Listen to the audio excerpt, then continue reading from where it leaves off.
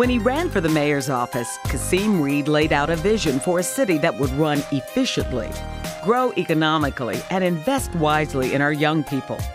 In his first two years in office, Mayor Reed, working with the City Council and Atlanta business and civic community, is delivering on that promise and building a better city for our future. Preparing the city of Atlanta for the future involves a number of things. First and foremost, fiscal stability. The city has to be on a sound fiscal footing. This mayor has made extraordinary progress in moving the city from having $7 million in reserves to over $90 million in reserves without raising taxes. This positions the city very well to withstand uh, whatever unforeseen events may happen and uh, poises the city to be able to, for the first time in a long time, get back into the bond markets uh, with the general fund, which is critical to investing in infrastructure. Mayor Reed has done a great job for our city. He's tackled some really tough projects like pension reform and making our city safer. The sweeping reform law addresses a $1.5 billion unfunded liability. And over the next 10 years, it will save Atlanta more than $270 million. Additionally, this mayor has lowered costs uh, in key areas while improving customer service and operations, use some of that cash to then invest in things like public safety and open the centers of hope and open the recreation centers, which provide a solid social foundation for the city of Atlanta. We always say that the best economic development incentive a local government can have is an efficient and customer friendly permitting approval process. And the new legislation the city has approved does that for the city of Atlanta and makes the city of Atlanta a leader for the nation in this area. Abandoned properties can be an eyesore and a safety hazard. So the mayor reduced the backlog of code enforcement cases from 5,000 down to 1,500. Mayor Reed's leadership and his continued commitment to public safety is really the driving force behind our efforts to make the City of Atlanta a safer city and making the Atlanta Police Department a world-class police department. Well, the mayor's vision is that the city of Atlanta uh, becomes one of the 10 safest cities in the United States of America. Uh, and so to be one of the 10 safest cities, you have to have a robust fire department, police department, and Department of Corrections.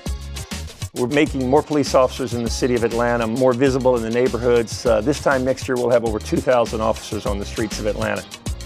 Operation Shield, the video integration network, where we're bringing all the public sector and private sector cameras into one network, integrating them into one system that can be monitored by the police department. It all goes hand in hand. Corporations like Porsche North America, which he's been successful at bringing into Atlanta, those executives want safe schools. They want them for their children. They want safe communities. They want them for their employees. And Mary wants to deliver that for them and all of the citizens of Atlanta. He's been pivotal in the deepening of the Savannah port, which is key not just for Atlanta, but for everyone in Georgia and in the southeastern U.S. Once the Panama Canal is deepened and widened and the larger ships can come in, if they can come to Port of Savannah, it's going to help all of us uh, immensely as we move forward. When it comes to cargo, we're not as busy as the other airports, and so we're working towards developing a program to increase that. 2012 will be a record year for this airport. We'll far exceed 90 million passengers, probably close to 92 million. And when we open the new terminal and the new facilities, that will add an additional 2,000 to 2,500 more employees he's invested in the regional community. So working on the transportation effort and the transportation tax uh, and making sure that that is poised and prepared for success. We will be successful in passing the new T-SPLOST, I'm convinced, with the mayor's support. When we do that, we'll be raising money for over $6 billion of transportation projects that will create jobs for our communities as well as make it a better place to live. He understands that reemploying this community is really up at the very top of things we need to get done.